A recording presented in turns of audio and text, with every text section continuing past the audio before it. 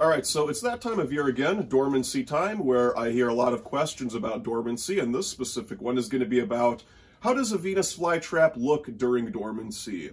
Is your plant dormant or is it dying? Well, let's find out. Okay, so basically, a dormant Venus flytrap should still look relatively healthy. It shouldn't be completely dead. It shouldn't be all shriveled up. And we're going to be going through some picture examples later on. But first of all, I wanted to start off with the basic idea that some of these traps will die off you still have some of these tall uh, summer growing traps on this plant. And then when we go into dormancy, the newly emerging traps get shorter, they're low to the ground, and the petiole, which is almost like the leaf part uh, of the Venus flytrap, which is a you know simpler way of describing it to most people, uh, it gets kind of shorter and low to the ground. So I'm going to zoom in and show you that.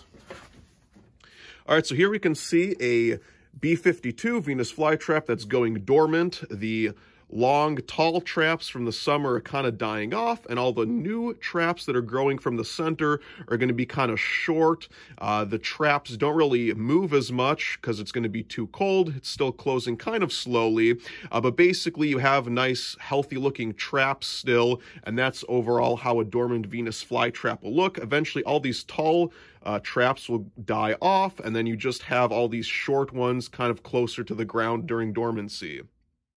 All right, so here we have a pot of dormant Venus flytraps, and that one looks a little bit worse than the B52 that I just showed you. So how come? Well, that's because I left this pot out on the patio unprotected when the weather was going down to about 20 degrees Fahrenheit or negative 5 degrees Celsius. And due to that, there was a lot of wind burn and wind chill, which damaged some of these leaves. So you can see there's some brown spots kind of on the edges, yellowish brown. Um, there are some black leaves and then it looks kind of dehydrated. Uh, but again, that's mainly due to the wind chill, which is why I always recommend sheltering the plants once it gets to about 30 Fahrenheit or zero degrees Celsius. Now, of course, this plant isn't dying and this is perfectly normal for dormancy. It just looks a little bit worse than the perfect optimal condition, which is that smaller B52 in my hand. Uh, it just has a little bit of wind damage, wind burn on the leaves. Uh, so overall, it is dormant, but the leaves are in a little bit worse state than they should be. Uh, it'll all grow back for the spring, but what I strive for is a plant that's still relatively healthy looking, like the B52 that I have in my hand here. Okay, so here you can see some more examples of dormant Venus flytraps all of the taller, growing long kind of leaves, they're all dying off. You can see how tall this one used to be. And all of the new leaves that are growing kind of in October and November are going to be very short, low to the ground. But as you can see, all those traps still look nice and healthy. Again, here everything is kind of died off and all the new growth is low to the ground. And here we even have a red one. All the tall growth has died off and everything is short and low to the ground. But overall, your plants should look still pretty healthy. So now what I'm going to do is I'm going to go through kind of a slideshow of pictures I've seen uh, that other people post because they're a good example. So I'm going to show you what is dormant and what is dying. Okay, so here is our first example. This is a Venus flytrap that's dying, not one that's going dormant. And you can tell because all of the leaves are shriveled up. They're flopping over. The traps are open. Uh, this is a plant that hasn't received enough water and it's dying.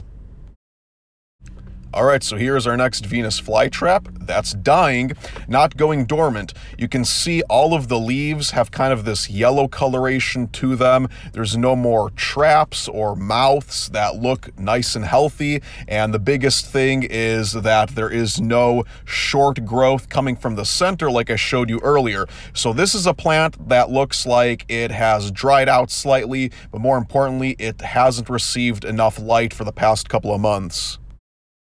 All right, so here's our next example. And if you guessed that this plant was dying, you'd be correct. So as you can see, a lot of the growth is turning black, and that does happen on dormant Venus flytraps. Uh, but as you can see, every single trap here is turning black. And if you pay close attention, even the traps coming from the center, the very newest traps are also turning black and dying. So this is a plant that has likely been overwatered with the incorrect water as well and has lots of mineral burn on it. All right, so here's another common situation. People say that when they're dormant, they die all the way back to the soil.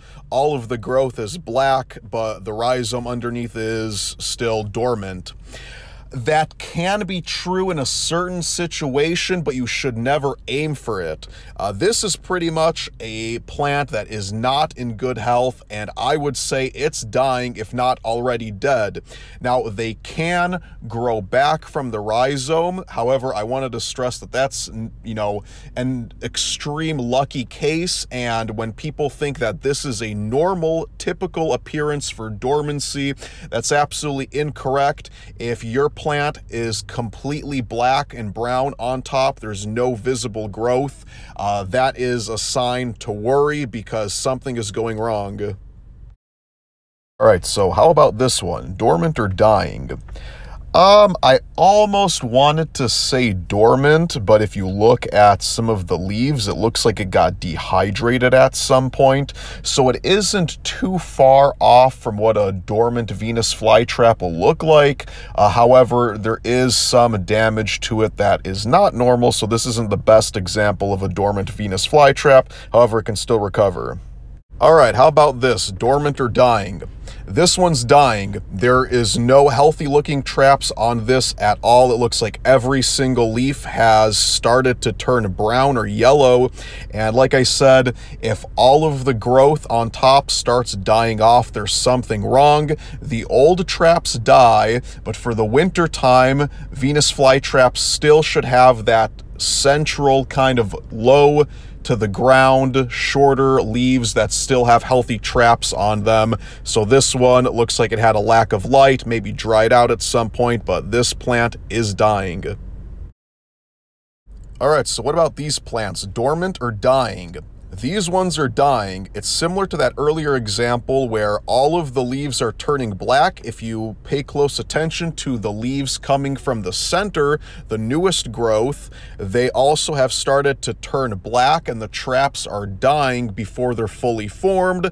So this again is most likely a situation where it was overwatered, it hasn't received enough light, and very, very likely that it had mineral burn from tap water on it. All right, dormant or dying.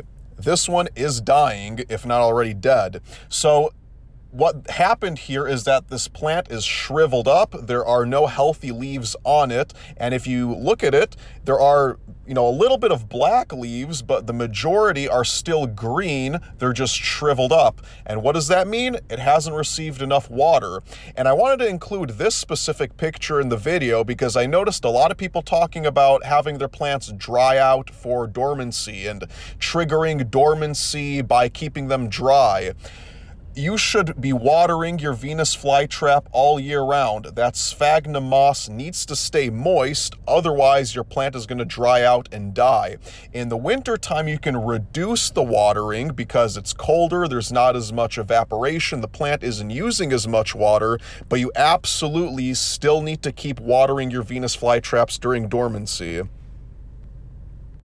All right, so here's an example of what a lot of people's Venus flytraps look like when they bring them inside their house and put them on the windowsill for the winter. So has this plant gone dormant? No, absolutely not. You can see the leaves look very junky. They're almost all entirely yellow. The new growth is kind of short and closer to the ground, but you can see there's no healthy traps forming on that. So this is a plant that is dying from a lack of light and probably is being kept way too warm now during the months of October October, November. All right, so to wrap this all up, here we have a great example of a Venus flytrap that's going dormant. As you can see, there are some longer leaves on this plant. Those are from the summertime when the leaves grow tall. And closer to the center, you can see there are short leaves, that ground covering rosette of newly formed leaves. This is exactly what you should be striving for. Overall, the plant still looks very healthy, looks very robust. Pretty much it just shrinks down in size for the winter time, but overall the appearance is healthy. So like I said, this is about it for this video. Uh, if you have any questions, let me know down in the comments.